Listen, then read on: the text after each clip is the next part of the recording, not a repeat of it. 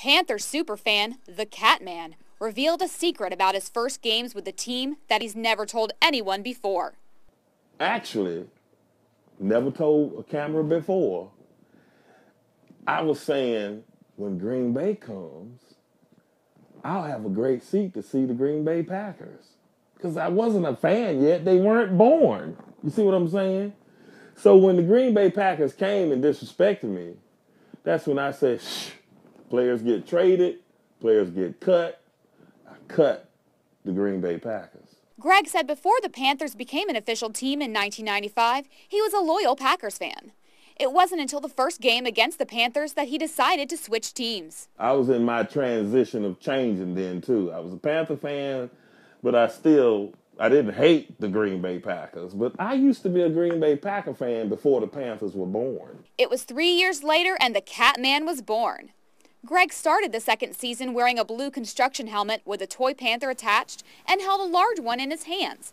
But one moment changed his look forever. And of course, I don't sit down the whole game. I stand up and cheer. But these people behind me kept asking me to sit down again. Hey, you, the guy with the cats, down up front. So I was back up again. He said, hey, because I had a cat on my helmet and a bigger cat, about this long in my hand. And he says, hey, Catman, down up front. And I said, Catman. I like that. so that's who I became.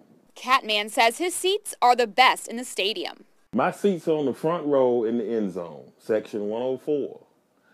To me, it's the best seat in the house. I've had balls thrown that I've caught. You know, it kind of puts me into the game. I live vicariously through the players.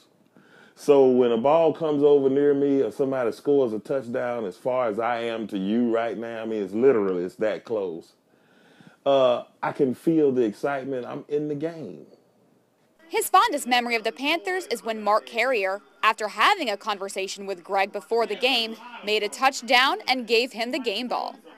But he scored, came over, and brought that ball, and he just flipped it to me. And I jumped up and down like a woman on The Price is Right. I was so ecstatic. Greg said the Panthers administration told him they wish all their fans were just like him. He also said it's because he's their biggest fan that he feels so much vengeance towards the Patriots, who play the Panthers on Monday night at home. The Patriots cheated. We can't let them get away with that. We got to beat them every time we play them to get them back. Well, I don't think we, uh, the only way we can get them back is beat them in the Super Bowl. So I wouldn't mind if the Patriots made it to the Super Bowl. So we can beat them, show them how that feels to lose against us in the Super Bowl.